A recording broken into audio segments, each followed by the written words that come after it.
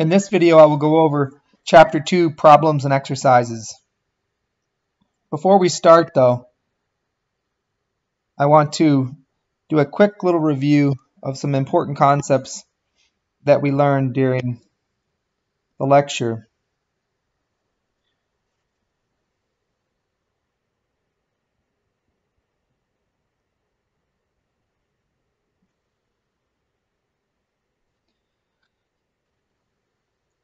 So the first thing is the accounting change equation. We learned that the change in assets equals the change in liabilities plus the change in owner's equity, which is comprised of the change in common stock plus the change in retained earnings, but the change in retained earnings is just net income minus dividends but net income is revenue minus expense.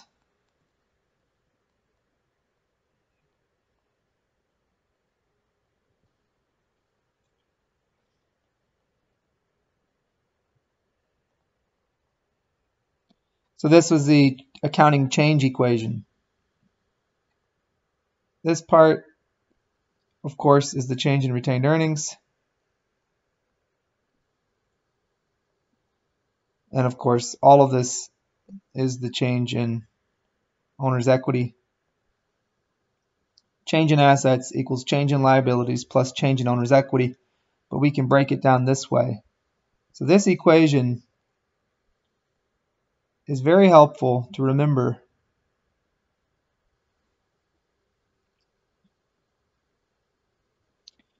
The next thing that we need to remember are the six categories that any account that a company has will be in.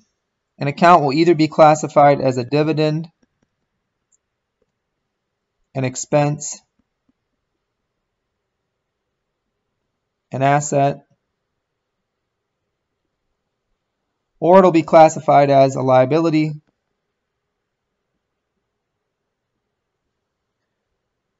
an owner's equity account,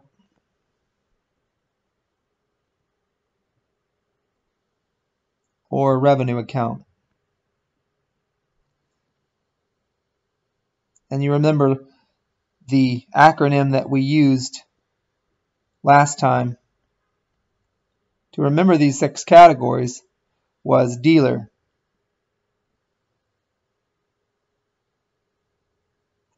Now you may notice here, you may wonder, why do we have dividends, expenses, and revenue listed separately from owner's equity when clearly you can see up here in the equation that revenue, expense, and dividends all affect owner's equity. Well, we, that's just the way we we differentiate a dividend, an expense, and revenue separate. Owner's equity then is just going to be common stock or retained earnings. These are the two owner's equity accounts.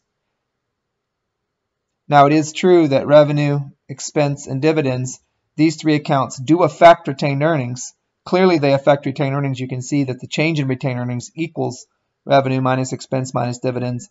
And because they affect retained earnings, they definitely affect owner's equity. But we're going to keep them separate in terms of categorizing accounts.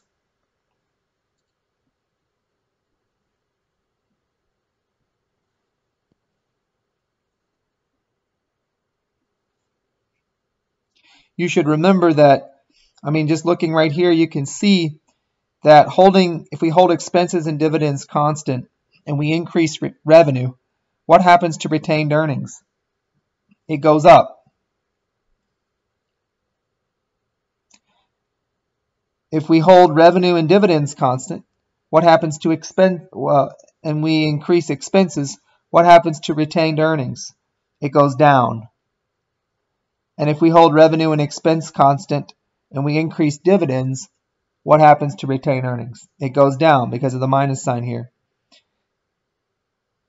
So anything that makes retained earnings go up makes owner's equity go up because there's a positive relationship between retained earnings and owner's equity. And anything that makes retained earnings go down makes owner's equity go down. So the summary of this is when revenue goes up, that makes retained earnings go down. I'm sorry, makes retained earnings go up, which makes owner's equity increase. And when expenses go up, that makes retained earnings go down, which makes owner's equity go down. And then when dividends go up, that makes retained earnings go down. Dividends are paid out of retained earnings, which makes owner's equity go down. This, this information right here is usually uh, tricky for students to remember.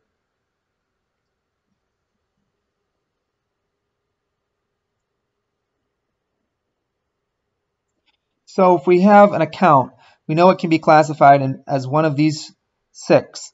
Any account the company has will be in one of these six categories, and it can only be in one of the six. These categories are mutually exclusive. If the account happens to fall in um, one of the D, E, or A categories, like for example, take cash, which is an asset, then if we make a T account for cash, which we can make a T account for any account, since cash falls in the D, E, or A category, in this case A, the rules of debit and credit are an entry on the left-hand side of the account, otherwise known as the debit side of the account, increases the account's balance, and an entry on the right-hand side of the account, otherwise known as a credit, decreases the account's balance. If the account in question happens to fall into one of the other three categories, though, for example, let's take accounts payable which is a liability. We make a T account for accounts payable. Since accounts payable falls in one of these other three categories, an entry on the left-hand side of the account, so a debit entry will decrease the account's balance, and an entry on the right hand of the account, right-hand side of the account will increase the account's balance. So these are the rules of debit and credit.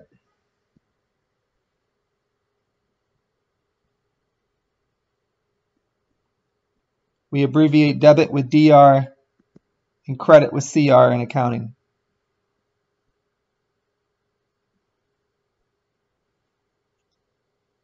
So with all these pieces of information in mind, let's work th through some Chapter 2 homework problems or some problems and exercises from Chapter 2. So I'm going to go to the ebook here, hit read. And I'm going to try to pick problems that um, will help your understanding the most of the material. We'll go over here to chapter 2. We're going to start with exercises set A, and we're going to work some exercises in set A.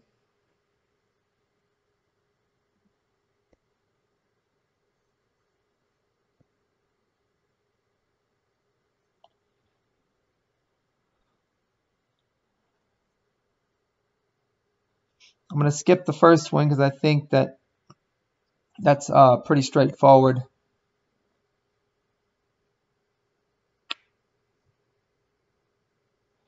And then I guess we'll work on the second one.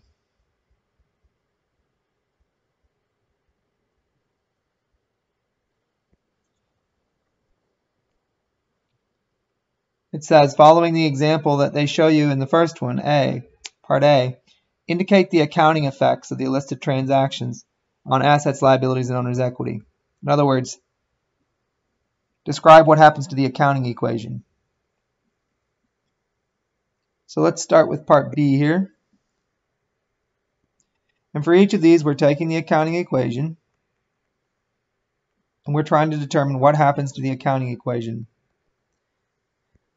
So what I would do is for each of these transactions, I would first figure out what accounts are involved. So in part B, rendered services and billed the client. The word rendered means we performed the services. And GAAP says we have to recognize revenue when we earn it.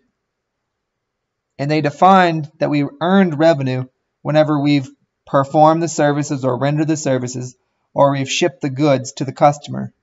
So since we've performed the services, we have to recognize revenue. So we can definitely we definitely know that revenue is involved. So revenue is one of the accounts. Since it's called services here, we'll call it service revenue. If it said shipped goods instead of rendered services, we would call it sales revenue.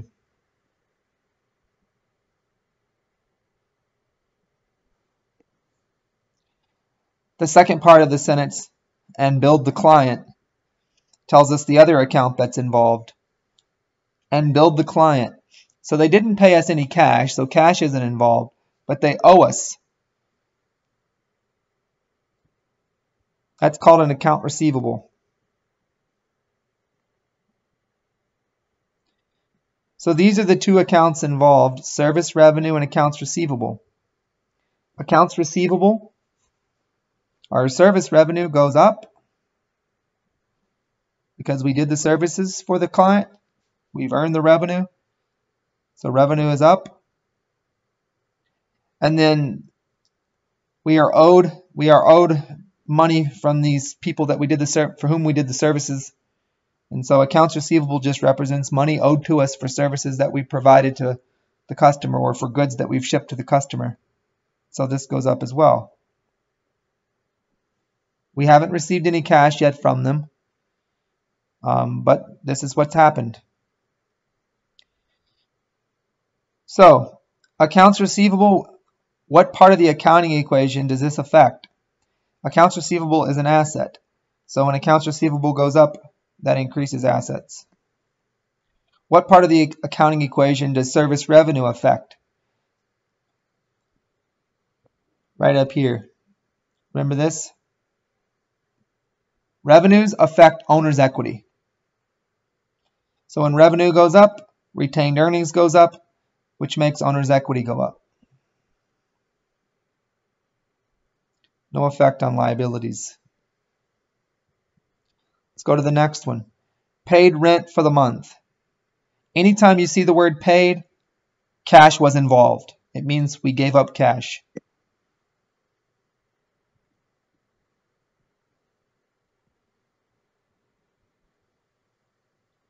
So we know cash is one of the accounts involved, and we know that it went down because it says paid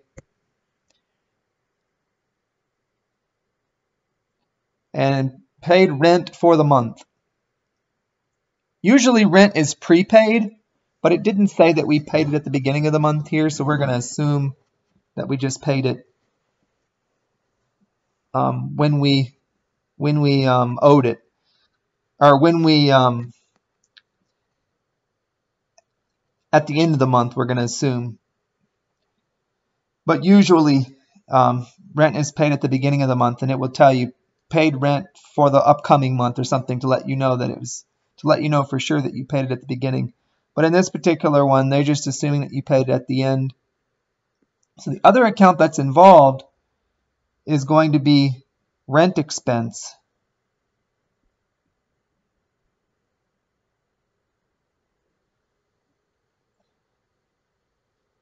So I'll go through both scenarios. If you happen to pay the rent at the end of the month, so you've lived in the place, the landlord let you live in the place or let you occupy the place for the month. And then at the end of the month, they trust you to pay them and you pay them at the end of the month. Then the two accounts involved are cash and rent expense. Cash goes down and rent expense goes up. Rent expense, the reason expenses go up here if you paid at the end of the month um, if this trans if C is happening at the end of the month, the reason expenses are involved is you have to remember the definition of an expense. So expenses, GAAP says expenses should be recognized when they are incurred, and expenses incurred whenever you derive the benefit from using an asset. So in this case, if this happens to be at the end of the month, we've, the, we've derived the benefit from being able to occupy the space for this month. Therefore, we've incurred an expense. Cash is an asset, so since cash goes down, assets go down. Liabilities are not affected. Rent expense affects owner's equity. Remember over here, expenses, when they go up, retained earnings goes down, which makes owner's equity go down. Right? Because expenses are right here. And the minus sign means they have a they have a decreasing effect on owner's equity.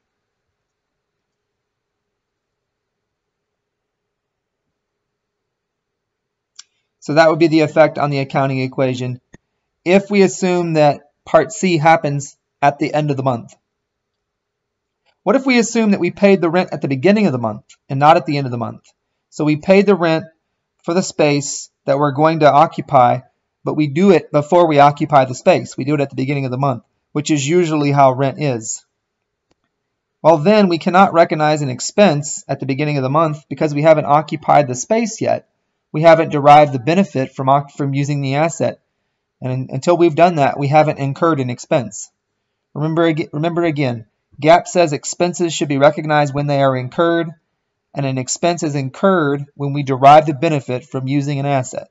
If we haven't derived the benefit from using the asset, we haven't incurred an expense.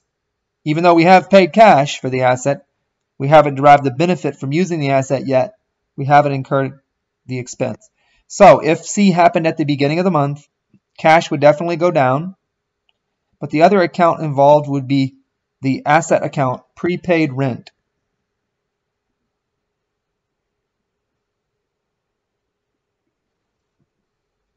And prepaid rent would go up. Prepaid rent is an asset.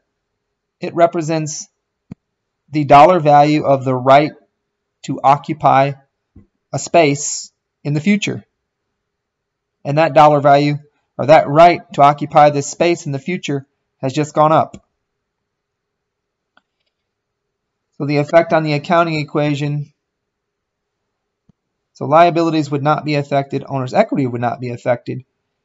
The cash going down would make assets go down. Prepaid rent going up would make assets go back up by the same amount because prepaid rent is an asset. And so the net effect on assets of this uh, would be no effect. So the net effect is assets no effect, liabilities no effect, owner's equity no effect.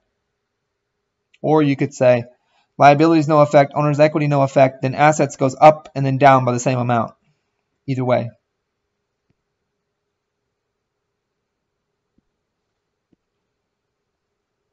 This is what usually would, would happen.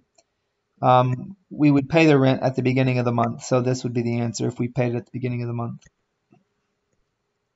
D. Rendered services to a client in exchange for cash. Well, the word rendered, or the, the, the phrase rendered services means we've earned revenue, right? Just like in part B. So definitely revenue is involved, in this case service revenue. And then the other account involved, it's pretty clear. They told us we rendered the services for cash. So cash is the other account involved.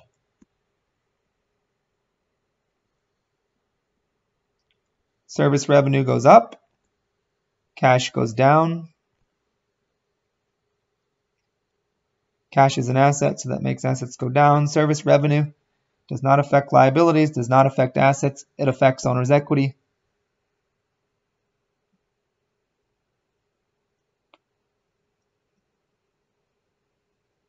Oh, cash doesn't go down. What am I what am I thinking here? We rendered services to a client, so revenue goes up in exchange for them giving us cash. We don't pay cash, they give us cash. So cash goes up, which makes assets go up.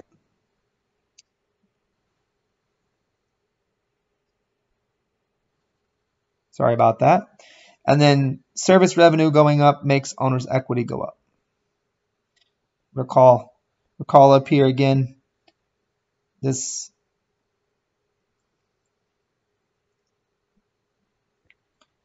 part E received the amount due from, a, from the client in transaction B. So in B, we rendered services and we billed the client. So in B, we rendered services, so service revenue went up, and they didn't pay us, but they owe us money, so our accounts receivable goes up. Now in part E, they pay off their account receivable with us. How do they pay off their account receivable? They give us cash, right? So cash is involved and it goes up from our perspective. We get cash from them. And the other account involved is the account receivable that we have with our customer. And since they just paid it off, do we do we have any more account receivable with them? Do we expect to receive money from them in the future for the services that we've rendered in the past? No, they just paid us for those services. So they just paid off their account receivable. So accounts receivable goes down. So the increase in cash makes assets go up. The decrease in accounts receivable makes assets go down by the same amount. These, these accounts are both assets. Liability is not affected, owner's equity not affected, and the equation stays in balance. Part F, we purchase an office desk on account. It did not say, the, it did not have the word paid here. It says purchased on account, which means we did not pay any cash.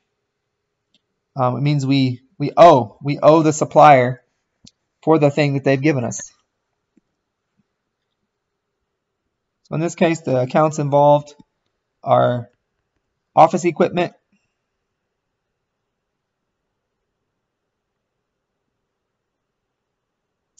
and accounts payable. We bought office equipment from the supplier. We obtained office equipment, so the dollar value of our office equipment goes up. Office equipment is, is an asset, so that makes assets go up. And accounts payable, we now have this extra amount of money that we owe our supplier. And so our accounts payable, which is a liability, goes up.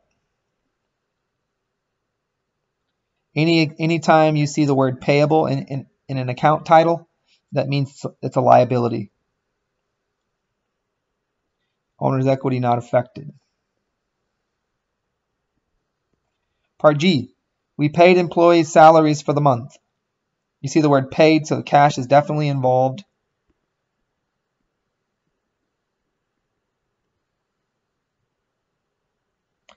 And we paid their salaries, so cash goes down, which makes assets go down.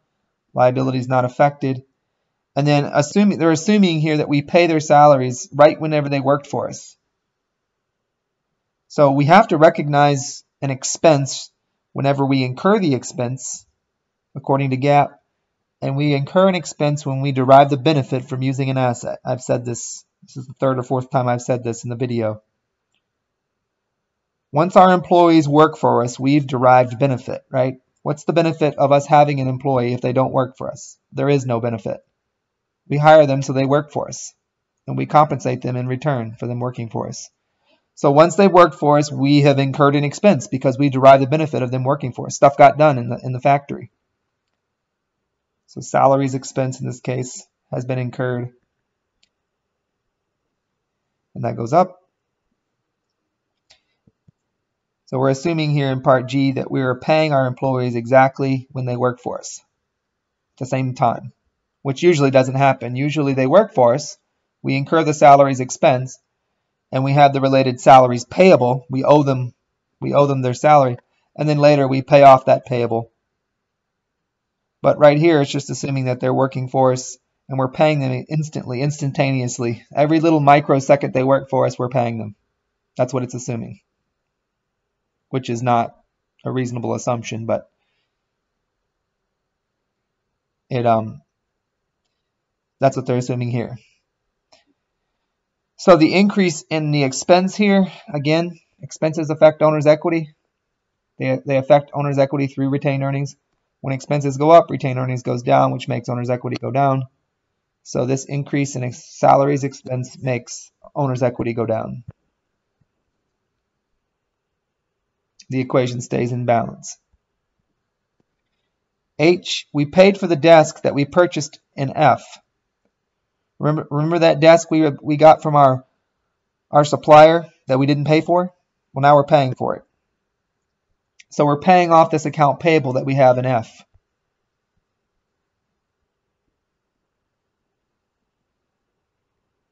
So the two accounts involved here are cash and accounts payable. I'm going to abbreviate it as AP. Cash goes down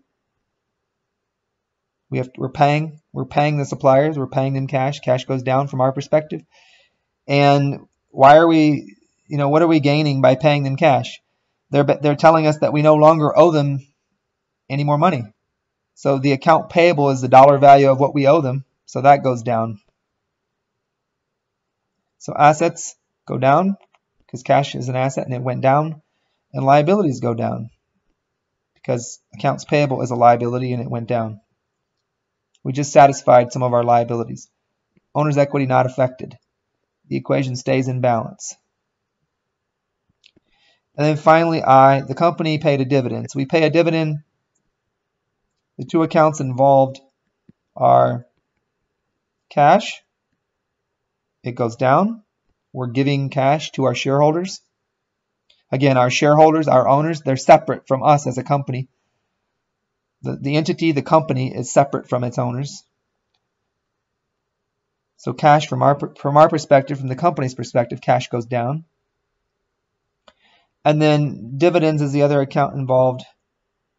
Dividends goes up. How does dividends affect the accounting equation? It affects owner's equity, right? It's up here again. Remember this box? When dividends go up, that makes retained earnings go down, which makes owner's equity go down. Dividends are paid out of retained earnings, and anything that affects retained earnings affects owner's equity.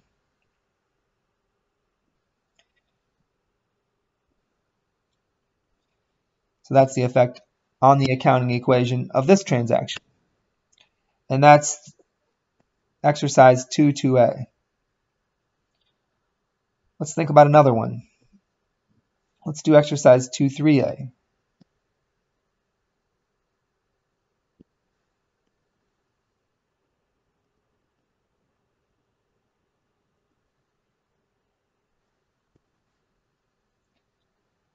For this one, they give us the account, they give us the beginning balance in the account and the ending balance in the account, and they give us some other information that affects that account during the period.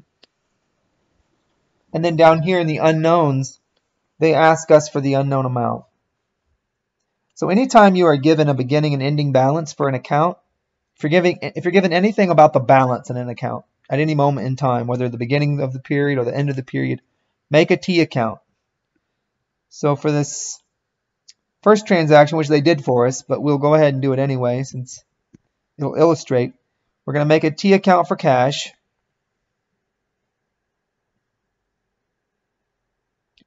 Cash's beginning balance is 7,000 and its ending balance is 5,250. On which side of the T do we put the beginning and the ending balance? We put it, for cash, we put it on the left-hand side, on the debit side. Cash has a normal debit balance. If we go back to the rules of debit and credit,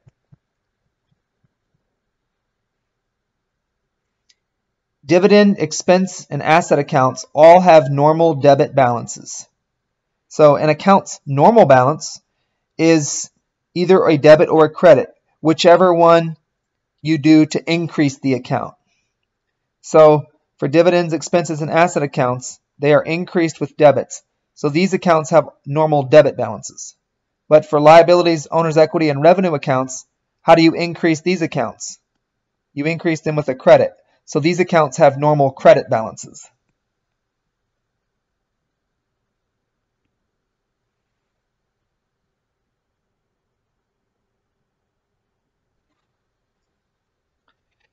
So cash, it told us the beginning balance is 7,000 and the ending balance is 5,250. So those must both be over here on the debit side. So this is the BB, the beginning balance. This is the EB, the ending balance.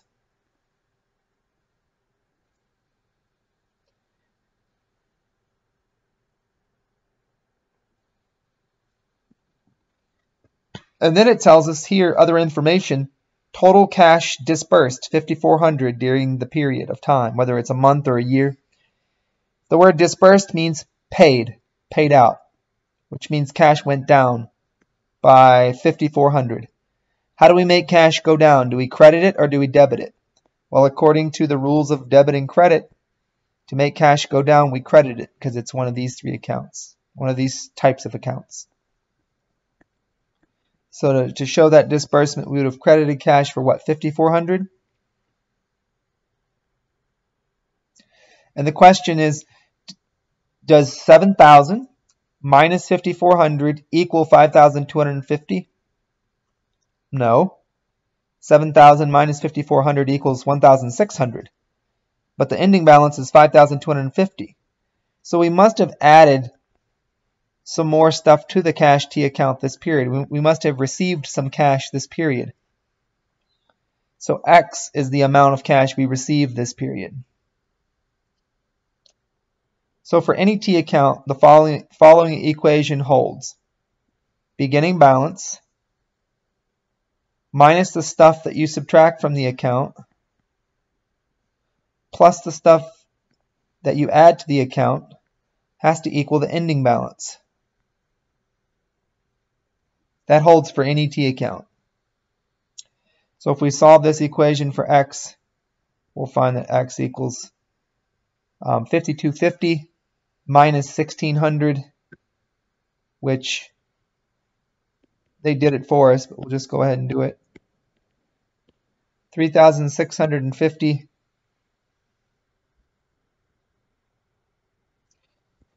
and that's how they got here. Total cash received 3,650. Let's do part B. The account in question here is accounts receivable. It's an asset, so it's a DE, it's an A. So the beginning balance is 11, the ending balance is 9.3, and we know that's on the debit side because asset accounts have normal debit balances.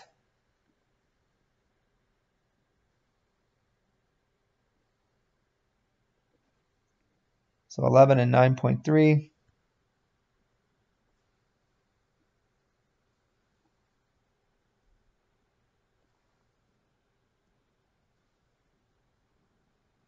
Ending balances are usually have a, a line over them and a double underline to let us know that's the ending balance in the account. And then they tell us that during the period we provided services for a client and they didn't pay us for those services. Um, we provided those services on account, 16,500. Well, that increases accounts receivable. These are the services provided on account. So, so accounts receivable goes up by 60. They owe us 16,500 more than what they previously owed us after we did those services for them. Previous to that, they owed us 11,000. Then we did some services for them and we billed them 16,500. Now they owe us an additional 16,500. And at the end of the period, they only owe us 9,300. So does the beginning balance plus 16,500 equal 9,300? No. There must be, we must have reduced accounts receivable by, by some amount this period. And the question is, how much did we reduce it by? The only way that accounts receivable goes down is when we collect from our customers. When we collect cash from our customers, they pay off their account receivable. Then the accounts receivable goes down by, by X. So we can solve for X. 11,000 beginning balance plus the additions to the account minus the subtractions from the account has to equal the ending balance. So this implies x equals 9,300 minus 16,500 minus 11,000. Well, actually, I didn't do that right. If we put x over here on the right-hand side and the 9,300 on the left-hand side, so x equals 11,000 plus 16,500 minus 9,300.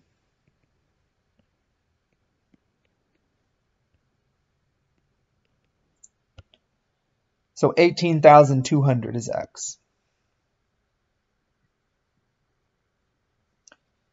This is the cash received from customers who are paying off their account.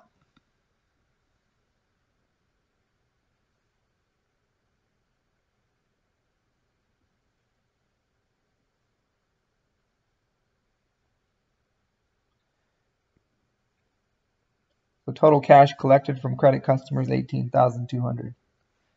Part C. They give us notes payable. They give us the beginning balance and the ending balance.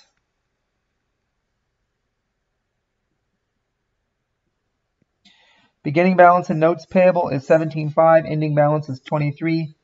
Now, what type of account is notes payable? What category is it in? If we go back here to our rules of debit and credit. Notes payable is a liability. Any account with payable in the title is a liability. So notes payable has a normal credit balance. So the, the two balances they give us have to go on the right-hand side, the credit side. 17.5 and 23. So notes payable started the period with a balance of 17.5, ended the period with a balance of 23.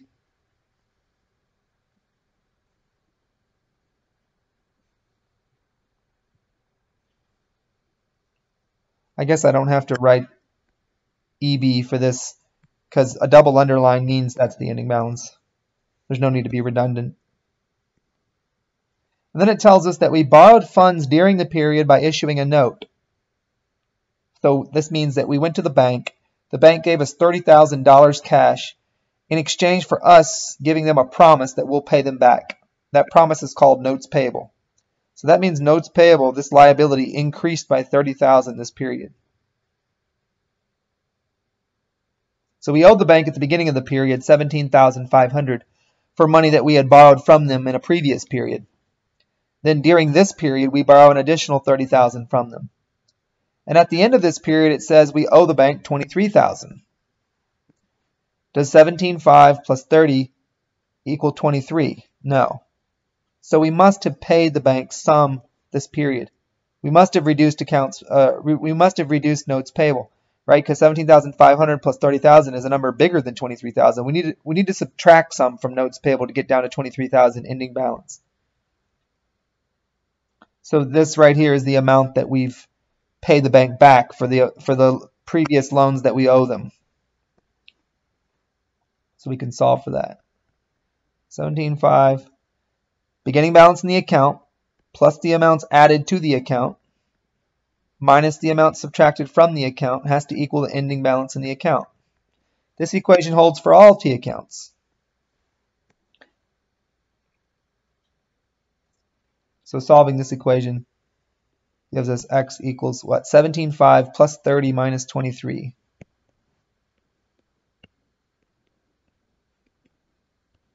Or $24,500. This is um, cash paid to satisfy loans, to satisfy uh, loans that we've previously taken out from the bank. So I would guess if we if we assume like a first in first out sort of assumption, this money we paid the bank this period, five hundred of it covers the what we owe them at the beginning of the period, and then whatever the difference is um, knocks this down to twenty three thousand left over owing them at the end of the period, if that makes sense.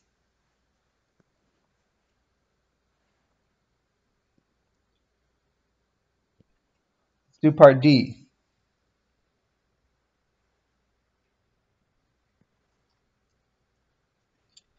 Goods and services, all right, yeah, so we did notes payable repaid during the period.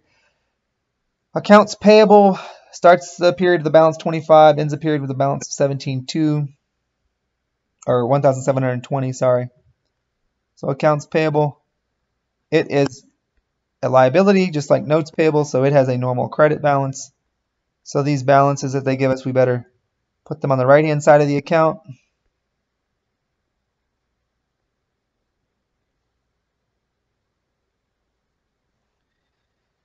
Um, and then it tells us during the period we paid we paid some of our accounts payable off, 3,900.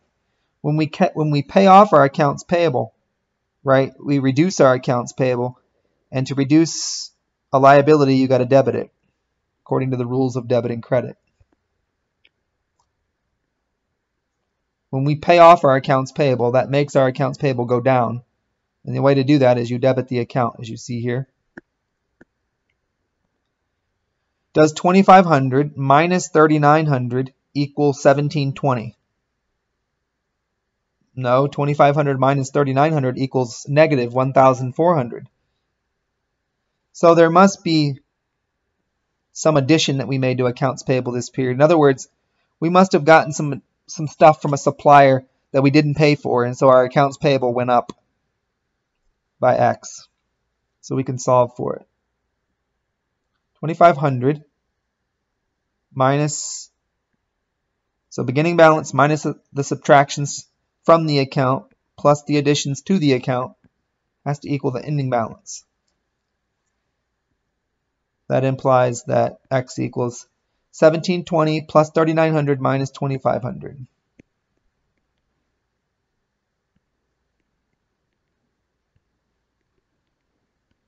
So 3,120.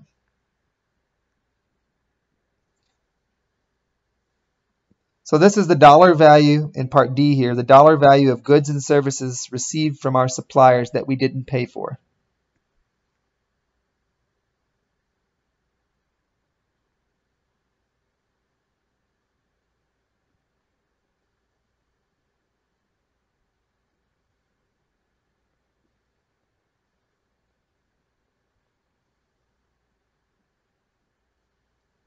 we have a liability, right, to pay for these things.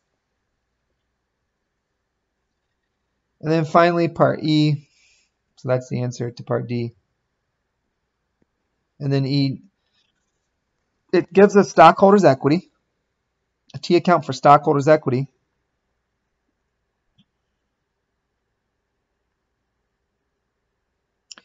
And we know that owner's equity has a normal credit balance because it's L-O-R, it's O, right? So it has a normal credit balance. So these two balances are on the right-hand side of the T account.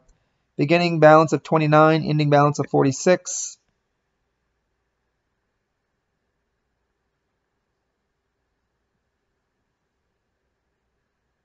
I should label this BB, I should label this BB.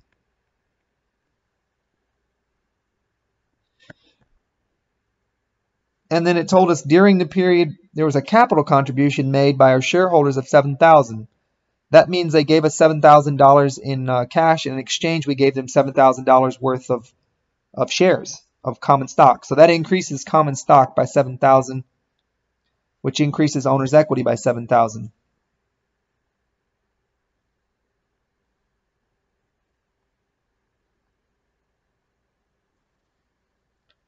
Does 29,000 plus 7,000 equal 46,000? No, 29,000 plus 7,000 equals 36,000. And we still have an additional amount to add to owner's equity this period. So what else affects owner's equity? We know common stock affects it, and we know retained earnings affects it. And so we can solve for x. 29,000 beginning balance plus the capital contribution. So that's the this is the change in common stock right here. Plus X, which will be the change in retained earnings, equals the ending balance of 46,000. So that means that X, that, Im that implies that X equals 46 minus 29 minus 7 or x equals $10,000.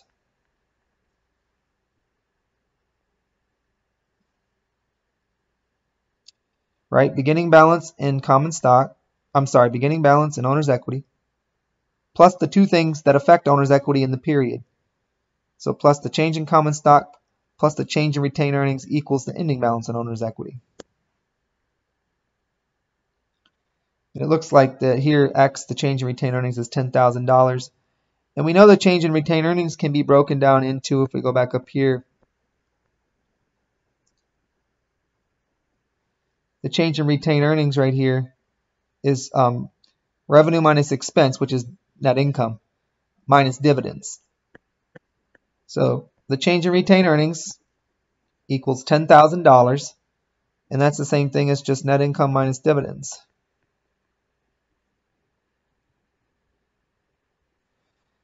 And it says here, net income, assuming no dividends were paid, equals what? Well, this equals net income minus dividends. So if we assume that dividends are zero, then that means net income is 10,000.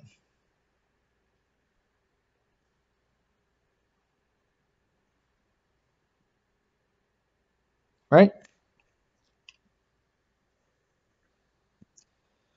let's work another one. Um, let me go. We haven't made any journal entries yet. I just want to do a transaction where we make some journal entries. So exercise 2.6a. Let's do exercise 2.6a.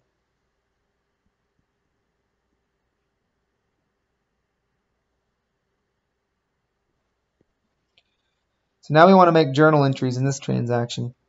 It says Unique Designs, a firm providing art services for advertisers, began business on June 1st. The following T accounts in its general ledger are needed to record the transactions for June. So we're going to be using these T accounts and no other T accounts when we do the recording for these transactions. So in part A, we need to make we need to use the accounting equation record each of the transactions in columnar format. That's what we were doing. That's what we were doing um, earlier up here. That's what we're doing like right here. It wants us to do that for each of these transactions. And then in part B, make the journal entry. So I'm going to do part B for each transaction. And then I'll I'll do part A after I do part B. So I'll do for each transaction, I'll do part A, then I'll do part I'll do part B, and then I'll do part A for that transaction. So on June 1st, Emily Holmes invests $8,000 to begin the business. The, the business is, is called Unique Designs. And in exchange, Unique Designs gives Emily Holmes, so Emily Holmes receives common stock from Unique Designs. So what's the um, what's the journal entry for this transaction from Unique Designs perspective? Well, when making a journal entry, you go through a few steps. The first step is you figure out which accounts are involved. So we know the accounts involved are cash and common stock.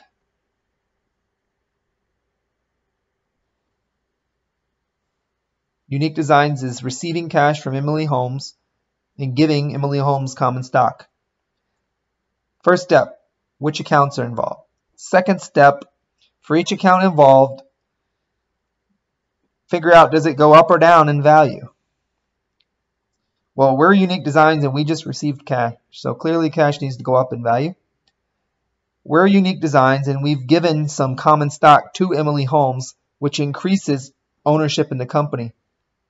Common stock represents the dollar value of ownership in the company. So common stock goes up. So that's the second step. The third step is for each account involved, put it in the right category. D-E-A-L-O-R. So cash is an A and common stock is an O. And then the, the final step to make the journal entry is use the, use the rules of debit and credit to make the journal entry. So what account are we going to debit here? And what account are we going to credit? That's the question we're asking here. With any journal entry, there always will be at least one debit and at least one credit. So using the rules of debit and credit back here, cash is an asset and we said it went up. So how do we make an asset go up? We're going to have to debit cash. Common stock is an owner's equity account, so it's over here. And we said it went up. How are we going to make that happen? Debit or credit to common stock? Credit. So we're debiting cash and we're crediting common stock. So to make the journal entry, you always put the account that you're going to debit on top, the account that you're going to credit on bottom and indented to the right. And then the amounts, which were $8,000, they told us. Usually you also include the date, June 1st. And then underneath, you include a one sentence description of what happened. So we received cash in exchange for stock.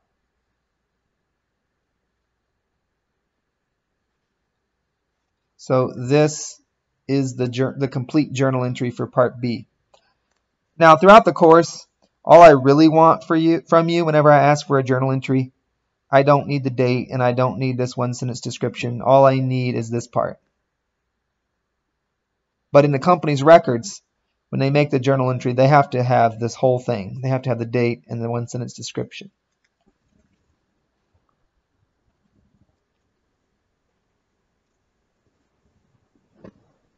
All right.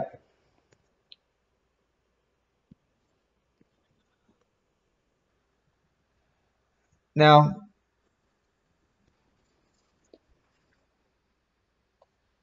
so this is uh, June 1st.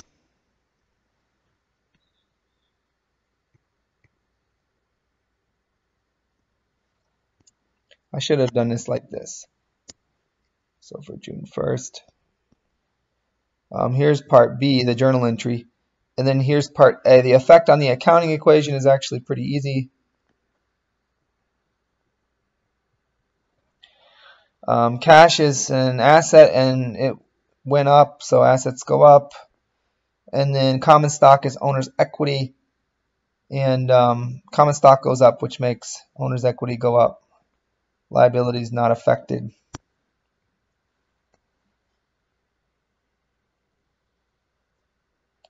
Let's do the next date on June 2nd.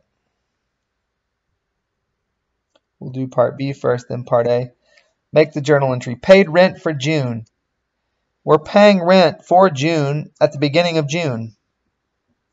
So what are the two accounts involved? First one is cash because of the word paid. We can tell cash is going down by 375 here because it says we paid 375. The other account involved is prepaid rent. I better spell it out so you can remember. We're paying for the right to occupy this space in the future. That right, the definition is called prepaid rent. So prepaid rent goes up. So first step, identify which accounts are involved. Second step, for each account, figure out does it go up or down. Third step is put the accounts in their respective categories. So cash is an asset, prepaid rent is an asset. And then the final step to make the journal entry is use the rules of debit and credit to make the journal entry. How do we make cash, an asset, go down? We're going to have to credit cash, according to the rules. How do we make prepaid rent, which is an asset, go up? We're going to have to debit pre prepaid rent. And I think the amount here was 375 so there's the journal entry.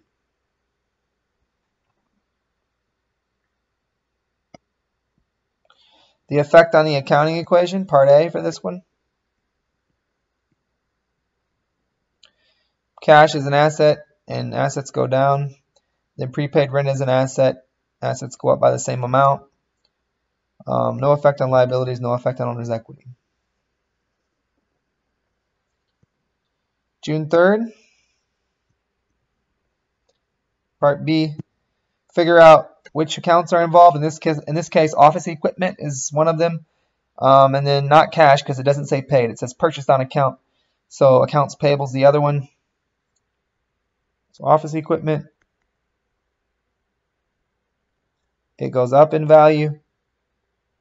Accounts payable is the other account. It goes up in value, right? Our liability goes up. So office equipment is an asset. Accounts payable is a liability. Again, go back and look at the rules. Um, how do we make an asset go up? We debit it. So we're going to debit office equipment. For, what was the amount? 2800 And how do we make accounts payable, which is a liability, go up? We're going to credit it. And that's the journal entry.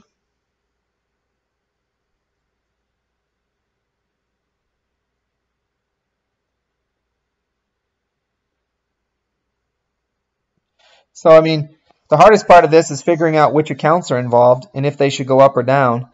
And then memorizing, you know, for each account, what what category does it go in, in the dealer acronym. In this case, the first one goes in A and the second one goes in L. And then after you've done that, then the rules, you, you've already memorized the rules. That's pretty easy.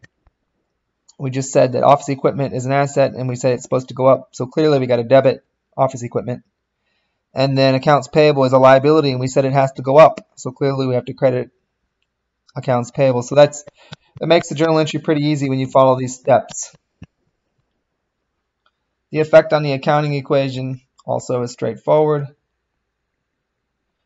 Um, office equipment is an asset, and it went up by uh, 2,800, so assets won't go up. And then accounts payable is a liability, and liabilities went up. Owner's equity, no effect. June 6th. Make the journal entry for June 6th. We purchased art materials and other supplies that cost 2500 We paid 900 down with the remainder due within 30 days. So the accounts involved, if we look at the list here, supplies is the account that would be representing art materials and other supplies. So supplies. And it should go up because we purchased supplies. We got we got more supplies. The dollar value of our supplies is going up. And then I see the word paid here, so definitely cash is involved. And cash is going down by 900 because we paid $900 of what we owed. And the rest of it, and the rest of it would be $1,600 we still owe to the supplier. So dollars, you know, amounts we owe to suppliers for stuff that they've given us is um, called accounts payable. So accounts payable is the other account involved, and that goes up by, looks like 1600 So put the accounts into their categories. Supplies is an asset, cash is an asset, accounts payable is a liability. And now make the journal entry. How do we make an asset go up? We debit it. So we're going to debit supplies for 2500 How do we make an asset go down? We credit it. So we're going to credit cash for 900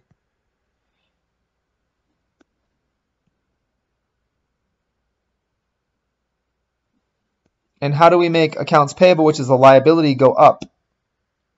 We make liabilities go up with credits. So we're going to credit accounts payable for the 1600. Now, you may wonder, some students ask, well, if I have more than one debit or more than one credit in the journal entry, what order do I put them in? And usually the rule of thumb is you put the one with the biggest number first. So technically I should probably um, put the account payable credit on top of the cash credit. they're both credits because they're both indented to the right relative to the, the supplies debit above them. But I should probably put the account payable one on top of the cash one just because it's a bigger number. But on an exam or anything like that, that won't be an issue. I don't care the order. So this is the answer. For June 6th, Part A, what's the effect on the accounting equation of this transaction? Well, supplies is an asset, and it went up by 2,500. So assets are going up by 2,500. But then cash is an asset as well, but it went down by 900. So the net effect of these two things, up by 2,500 and down by 900, the net effect is up by 1,600 for the assets. And then accounts payable is a liability and it goes up by 1600. So liabilities go up by 1600. No effect on owner's equity. So the, the effect here uh, of this transaction on the accounting equation is assets go up by 1600 and liabilities go up by 1600.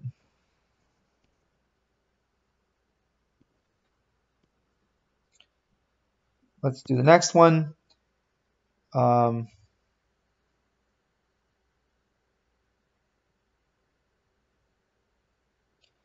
Billed clients for services, June 11th. Did we render them? Yeah, billed clients for services. So we've done the services and we sent them a bill. So if we've done the services, we've we've we've earned the revenue. So we have to recognize revenue. So definitely service revenue, or what do they call it here? Um, service fees earned is what they call the account. So service fees earned, it's the same thing as service revenue, just more descriptive. So that this is a revenue account. This is a revenue. Um, that goes up.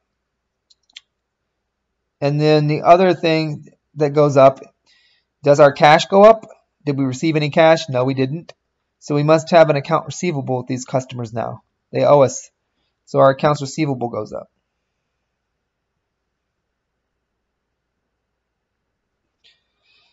Service fees earned is going up. Accounts receivable is going up. Um, this account is a revenue, and this account is an asset. So we can make the journal entry. How do we make an, a revenue go up? We credit it. So we're going to credit service fees earned for what? How much was it? 4,750. and we're going to debit accounts receivable for 4,750. How do we make an asset go up? We debit it.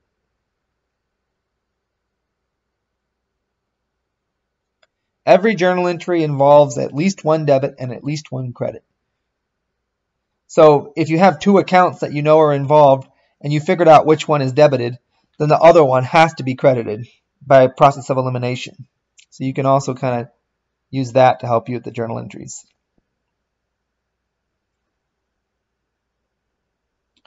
This is part B for this date. Uh, and then for part A, what's the effect on the accounting equation? Um, assets are going up by 4750 and revenue is going up by 4750. How does that affect the accounting equation? And we've gone over this already multiple times. When revenue goes up, that makes return, retained earnings go up, which makes owner's equity go up. So revenue affects owner's equity eventually. No effect on liabilities. Owner's equity up. Uh, June 17th, we'll do the journal entry first, part B. Collected 2600 from clients on account. So those clients that we billed in on June 11th, um, we didn't collect all of the account receivable, but we were collected 2600 of it. So the two accounts involved are cash, that's going up, and accounts receivable, that's going down. We're collecting their account. That reduces our account receivable with them. Cash is an asset, accounts receivable is an asset. How do we make an asset go up? We debit it. How do we make an asset go down? We credit it. So we're going to debit accounts receivable. I'm sorry, debit cash, credit accounts receivable for the $2,600. There's the journal entry. The effect on the accounting equation. I'm going to start going a little faster now since this is becoming redundant. Both of these are assets. Cash goes up, which makes assets go up by 2600. Accounts receivable goes down, which makes assets go down by 2600. No effect on liabilities, no effect on owner's equity. That's the effect on the accounting equation right there. There. Next date, um, June 19th. Do part B first. We pay 2000 on account to Office Equipment Company. See the June 3rd transaction. So we didn't pay all of the account that we owe, but we paid off 2000 of it. So the word paid is, you see the word paid, it means cash is involved. So cash, we paid, so cash goes down. Accounts payable is the other account involved, and we paid off part of our account payable, so that goes down. Cash is an asset, accounts payable is a liability. Using the rules of debit and credit, how do we make an asset go down? We credit it, so we're going to credit cash for the $2,000. How do we make a liability go down? We debit the liability to make it go down for $2,000. Right? If we go back up here, Cash is an asset and we want it to go down, so we credit cash. Accounts payable is a liability and we want it to go down, so we debit it according to the rules.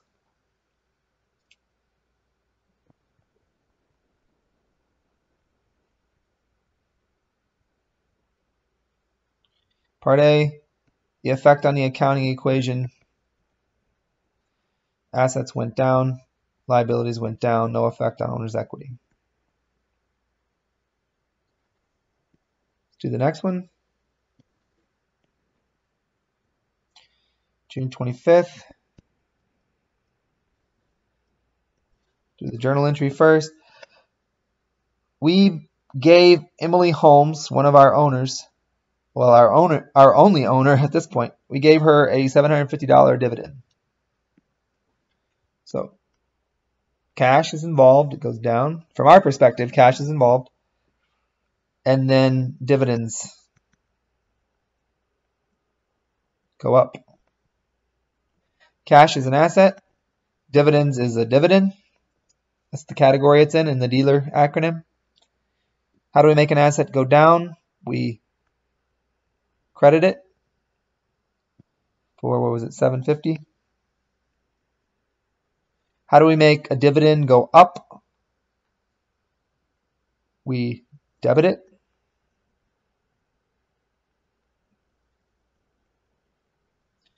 Again, debits are always above the accounts that are credited, and the accounts that are credited are below and the indented to the right. That's the journal entry. Effect on the accounting equation. Well, cash is an asset and it went down. No effect on liabilities. Dividends affects owner's equity. When dividends goes up, that makes retained earnings go down, which makes owner's equity go down. And that again is summarized up here again. When dividends go up, retained earnings goes down, which makes owner's equity go down.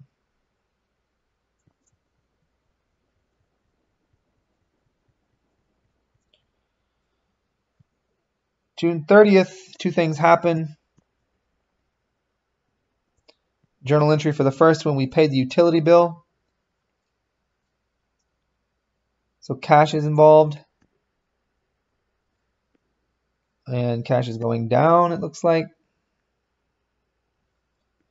And then utility expense, I guess, because if we look at the accounts that are going to be used in these transactions, you see utilities expense is one of them. And we haven't used it yet. So here, now we're using it, utilities expense. Um, that goes up. We have to recognize an expense when we incur it, and we incur it whenever we derive the benefit from using the asset. So by the end of the month, the lights have been on the whole month. We've definitely benefited from having electricity. Therefore, we've incurred utilities expense. Even if we didn't pay for it then, we still have to put the utilities expense. So what categories are these are these accounts in? Cash is an asset, utilities expense is an is an expense in the dealer acronym. How do we make an asset go down? We credit it, so we're going to credit cash. How do we make an expense go up? According to the rules, we debit it.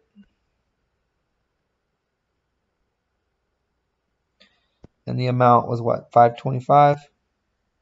So we're going to debit utilities expense for 525, credit cash for 525. This is the journal entry. Part A, the effect on the accounting equation. Uh, we made assets go down, so that reduces assets. Liabilities not affected. And when expenses go up, that makes retained earnings go down, which makes owner's equity go down. That, again, is summarized up here. When utilities expense goes up, that makes retained earnings go down, which makes owner's equity go down.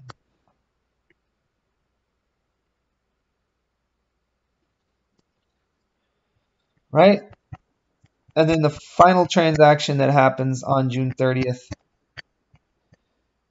um, paid salaries for June. It's very similar to the utilities. Cash is involved, cash goes down. And then salaries, expenses involved. And that's going up. I mean, the only account we haven't used yet is salaries expense. So that's got to be this last one here. And the journal entry is our, our cash is an asset, salaries, expenses, an expense. And the entry is going to look just like this one. We're going to debit salaries expense. You debit this expense to make it go up. And then you're going to credit the asset cash to make it go down for what, $2,750?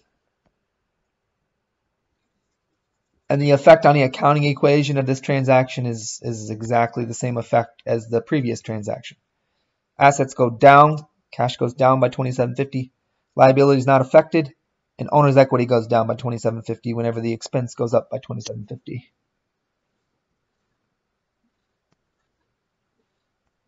All right, let's see if there's any any other exercises or problems we want to do here. I think that's pretty much it. These other exercises and or problems kind of just test your knowledge of this same material but just in different ways, but it's it's all the same as what we've been doing pretty much. I'm trying to see if there's I guess the only thing that we didn't really do if we go back to these transactions, what it could have asked us to do something else in this problem. Go back here.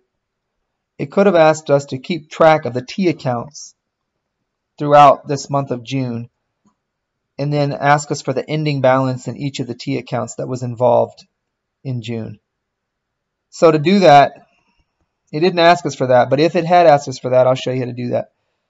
So we would have to take cash, that's one T account that was involved, make a T account for it, and then go back up to every transaction which involved cash.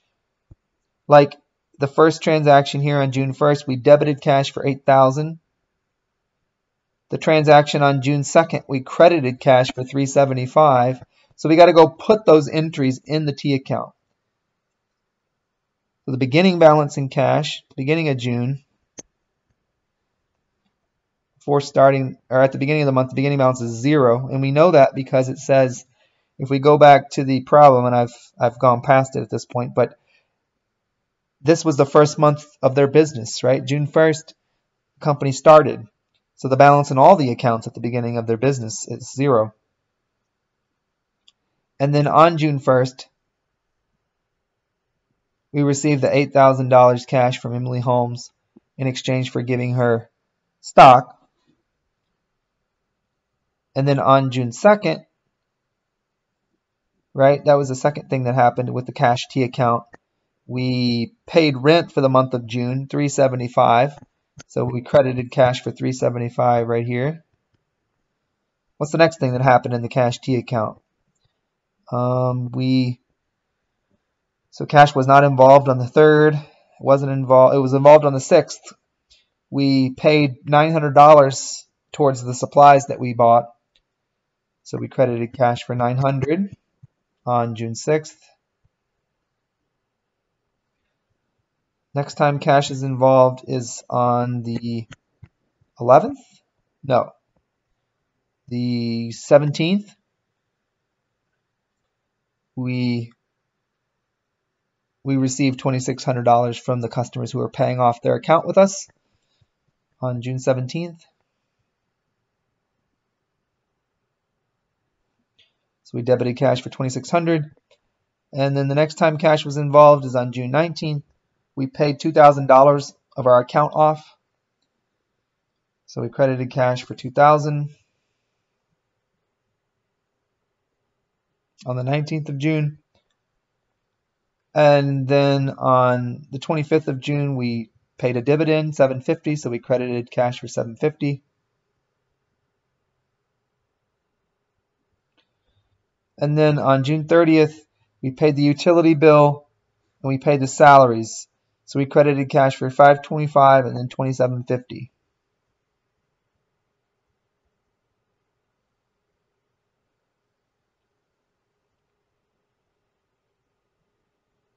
And so at the end of the month, what's the balance in the cash T account? Well, we know the balance is going to be a debit debit balance, right? Because cash has a normal debit balance. So we may as well put over here double underline. And then we just need to compute what's the ending balance. So to do that, you just come over here